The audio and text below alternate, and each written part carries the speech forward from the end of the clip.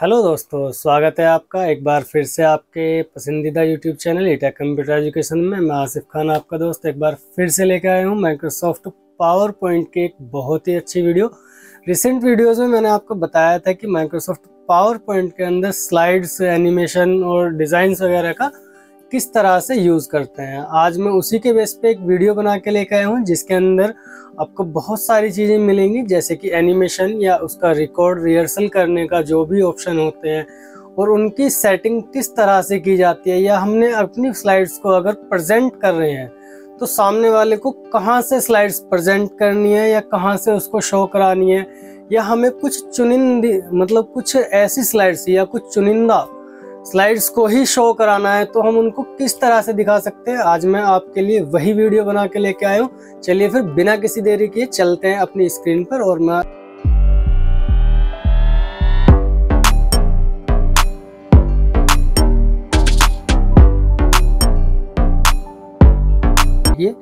तो जैसे कि आपने देखा होगा कि रिसेंट वीडियोस में हमने जो ट्रांजेक्शन्स थे, इन सभी के बारे में नेक्स्ट वीडियो जो ये वाली जो है हमारे प्रीव्यू हमने जितने भी इफ़ेक्ट्स इसमें लगाए हैं जो सबसे पहला ऑप्शन है ये प्रीव्यू का। इसका क्या रोल है? कि जितने भी ऑप्शन हमने अब तक या इसमें जितने भी इफ़ेक्ट्स यूज़ किए हैं, उन सबको प्रीव्यू करने के लिए यूज़ करते हैं। इसकी शॉर्टकट है हमारे पास में F5 ठीक है? जो F5 हम इसमें प्रेस करते हैं तो ये हमारी जितनी भी ये पोर्शन है, जितना भी एरिया है, ये सारा का सारा जितने भी हम इसमें एनिमेशन और इफेक्ट्स डालते हैं, वो सारी की सारी क्या होती हैं कि वो चल जाती हैं ऑटोमेटिक ऑटो प्रीव्यू होने लगती हैं। तो ये आप देख रहे होंगे, ये जितनी भी एनिमेशन है, ये इनका डिज़ाइन है कि हम अपनी एनिमेशन को या अपनी स्लाइड को किस तरह से इसमें इफ़ेक्ट डाल सकते हैं। वो सारा का सारा इसमें यहाँ आपको मिल जाएगा। ये अलग अलग तरीके के इफ़ेक्ट हैं जो यहाँ पे शो किए हुए हैं। आपको ऐड इफ़ेक्ट करने की ज़रूरत नहीं है। आप यहाँ से भी उसमें चेंजेस कर सकते हैं। ठीक है ऐड एनिमेशन ये सारे के सारे एनिमेशन हैं। अगर आप इसके अकॉर्डिंग भी चलाना चाहते हैं ऐसे, या अपनी तरह से भी बनाना चाहते हैं तो भी आप यहाँ से बना सकते हैं। जैसे कि शेप है ये, इस तरीके से बन जाएगी। एनिमेशन पेन में जैसे भी आपके पास में ये है।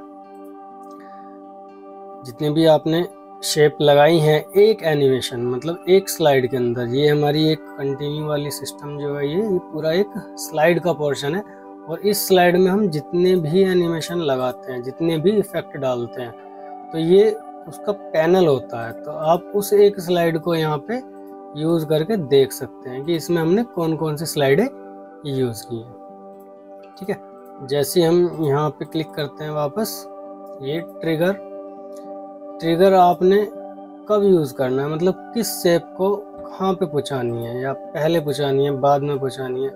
वो सारी चीज़ें आप यहाँ माउस क्लिक ये देख रहे होगे आप आ रहा है ऑन माउस क्लिक ऑफ़ और जो शेप आपने माउस क्लिक के साथ चलानी है, आप उसे तुरंत दबा दो, वो यहाँ पे चल जाएगी माउस क्लिक के साथ। फिर एनिमेशन पेंटर जो एनिमेशन आपने यहाँ पे डाली है, वही आप एनिमेशन यहाँ डालना चाहते हैं। तो जिस तरह के का ऑप्शन ये फॉर्मेट पेंटर होता है, ऐसे ही ये हमारा एनिमेशन पेंटर भी सेम वर्क करता है। ठीक है?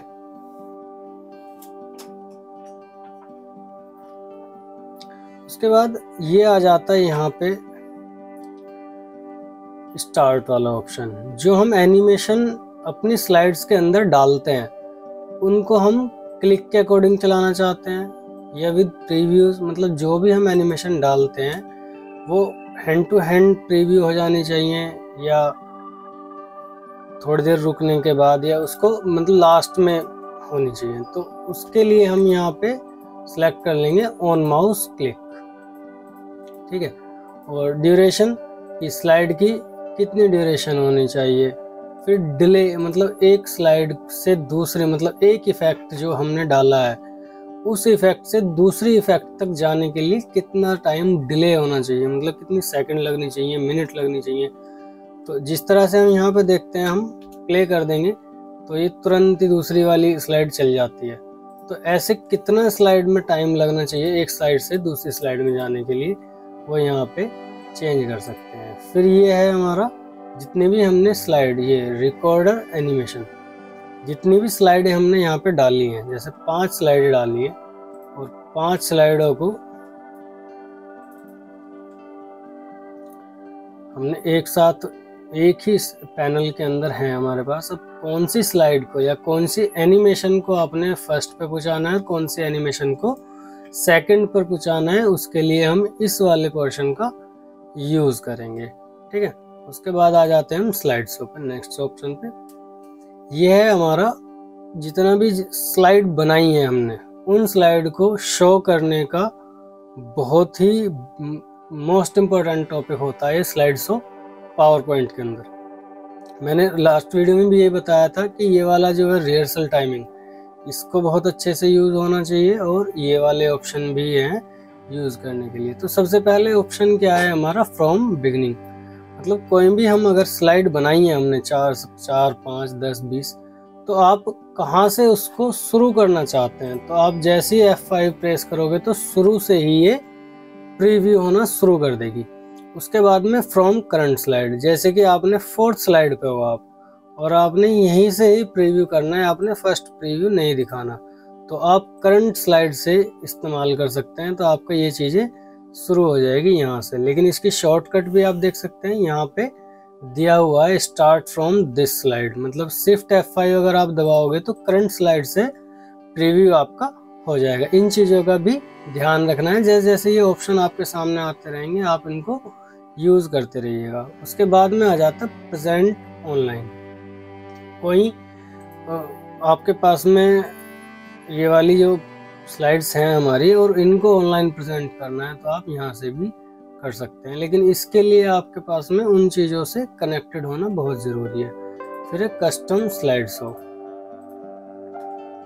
कस्टम रो ये कौन सी स्लाइड आपने पहले पूछानी है? मतलब आप यहाँ पे इस वाले को चलाना चाह रहे हो, फिर इस वाले को चलाना चाह रहे हो। तो ओके करके जब आप इसको शो कराओगे तो सिर्फ़ वही स्लाइड शो होंगी जो हमें शो करानी है, बाकी और नहीं होंगी।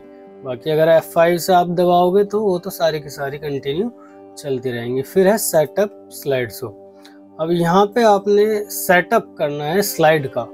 जो हमारा रिहर्सल करते हैं हम, उसको किस तरह से यूज़ करेंगे? क्योंकि इसके लिए रिकॉर्डिंग का होना हमारे पास में बहुत ज़रूरी है। सबसे पहले कि हम इसको इंडिविजुअल वर्स पे रखेंगे या फिर फुल स्क्रीन पर रखेंगे वो आप यहाँ देख सकते हैं। ये एक इसके ऑप्शन है शो वाले। फिर कब से लेके मतलब कि स्लाइड्स का जो रिहर्सल होना है, वो कौन कौन से स्लाइड का होना है? अगर आपने कस्टम रो है तो आप यहाँ से इसको कस्टम जो स्लाइड सेटअप किया है, वो आप यहाँ से कर सकते हैं कस्टम में जाके। जो आपने कस्टम में ऐड कर दिया होगा, वो यहाँ से चालू हो जाएँगे। बाकी आपने कोई मैनुअली ऐसे पाँच से लेके सात तक चार से लेके सात तक तक की जितनी भी स्लाइड्स हैं, वो सारी की सारी यहाँ पे शो हो जाएँगी। फिर आपके पास में अगर मल्टीपल मॉनिटर है तो आप उसको यहाँ पे जैसे प्राइमरी हमारा प्राइमरी कौन सा है? यही वाला। अगर कोई दूसरा भी मॉनिटर होता है तो यहाँ पे उस मॉनिटर का नाम शो हो जाएगा कि ये वाली स्लाइड्स हमें इस मॉनिटर पे शो करानी है, ठीक है? उसके बाद में किसी स्लाइड को अगर अपने हाइड करना है तो। आप इसको हाइड स्लाइड कर दीजिएगा, ये खत्म हो जाएगी। फिर आता है ऑप्शन रिहर्सल टाइमिंग का। जो ये वाली स्लाइड्स हैं, आई, आप इसमें देख सकते हैं कि आपने इस टॉपिक को लेके, जैसे यहाँ पे आप देख रहे होंगे, ये वाला ऑप्शन चालू है, इस टॉपिक को लेके आपने कितनी देर बोलना है, या क्या चीज़ उसके बारे में समझानी है, कितने समय के बाद में ये खत्म हो जाएगा। तो इस चीज़ को आप देख सकते हो आप समझा भी सकते हो। ये एक यहाँ पे ऑप्शन खुल जाता है। ठीक है? इसका आप यूज़ कर सकते हैं इजीली ये बहुत ही एक अच्छा ऑप्शन है। आप इसके बारे में रिकॉर्ड करके आराम से बोल सकते हैं। फिर उसके बाद में इसको आप क्लोज कर दीजिएगा। ठीक है? और इसको डिस्कार्ड कर दीजिएगा। ये सेव भी हो जाता है। ठीक है?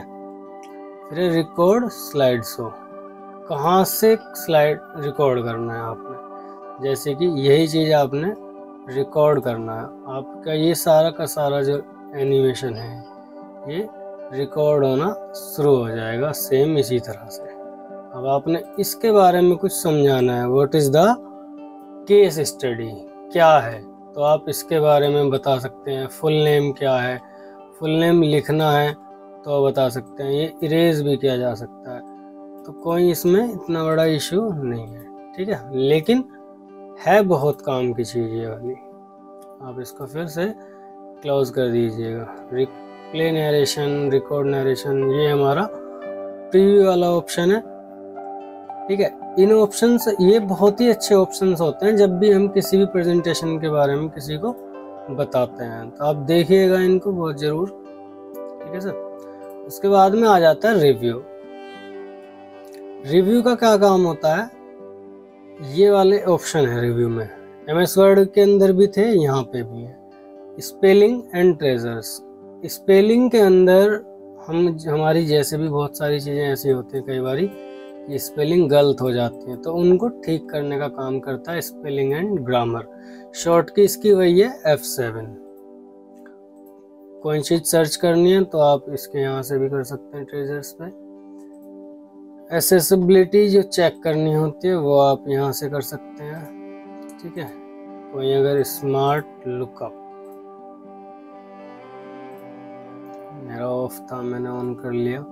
तो जो भी हमारा यहाँ पे पीपीटी का टॉपिक है, उस टॉपिक को हम गूगल से मैच करा सकते हैं। ठीक है? इसका ये सिस्टम होता है कि आप, जो भी आपका ये टॉपिक है, अगर आप इस पर क्लिक करोगे तो ये उसके रिगार्डिंग ही आपको एक इमेज शो करा देगा टॉपिक शो करा देगा, या फिर उसके रिगार्डिंग कोई आर्टिकल वगैरह, उसकी पूरी बायोडाटा आपको ऑनलाइन दे देगा, अगर आपका कंप्यूटर इंटरनेट से कनेक्ट है। इसके बाद आ जाता है ट्रांसलेट किसी भी लैंग्वेज को दूसरी लैंग्वेज में ट्रांसलेट करने के लिए। जैसे कि यहाँ पे लिखा फुल नेम अब इसको डिडक्ट कराना है हमने फ्रेंच के अंदर। तो फ्रेंच में हम इसको किस तरह से लिखेंगे, वो यहाँ पे हमारा शो हो जाता है। फिर लैंग्वेज कौन कौन सी हम है हमारे पास में, और हमें कौन सी लैंग्वेज का प्रेफरेंस देना है। उसके बाद कमेंट्स किस वाली शेप पे या किस स्लाइड पे हमने कोई कमेंट्स ऐड करनी है कमेंट्स को डिलीट करनी है, या हमारे जो कमेंट्स हैं बहुत सारे, उनको प्रीव्यूज करने हैं, या फिर नेक्स्ट पे जाना है। फिर जितने कमेंट हैं, उनको शो कराने हैं। कंपेयर भी करना है। अगर हमें एक स्लाइड से लेकर दूसरी स्लाइड से कंपेयर कराना है तो इसके माध्यम से करा सकते हैं। सपोज़ हमने एक ही जैसी दो स्लाइड बनाई है, और दोनों को कंपेयर करा के एक्सेप्ट और रिजेक्ट करना है तो हम इस ऑप्शन का यूज़ करेंगे स्लाइड्स का। फिर एक है ये स्टार्ट इंकिंग इसमें क्या होता है कि हम एक ऐसा पेन का यूज़ कर लेते हैं जिसका हम लाइट पेन होता है ना, लाइट पेन की जगह इसका हम यूज़ करते हैं। इसके बाद में इसको हम क्लोज कर देते हैं या फिर कोई इंक हाइड करनी होती है तो इसका हम इस्तेमाल करते हैं। व्यू, इसमें हम प्रेजेंटेशन की जितनी भी व्यूज़ होते हैं, जैसे कि हमारा कितने पेज का व्यूज़ है, हमने अपनी जो स्लाइड्स हैं, उसको किस लेआउट में शो करानी है? आउटलाइन में, स्लाइड्स में, नोट्स में, रीडिंग में, वो सारे ऑप्शन हमारे यहाँ पे आपने मिल जाएँगे।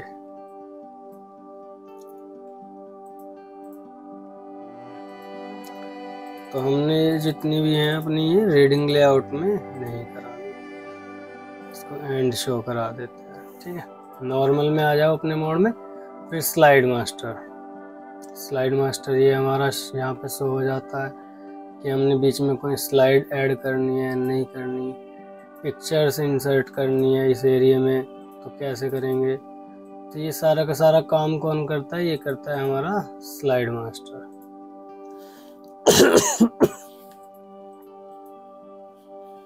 उसके बाद हैंग आउट मास्टर ठीक है? हमने जैसे छोटी छोटी चीज़ें इसमें पोर्शन में बांट दिए जाते हैं।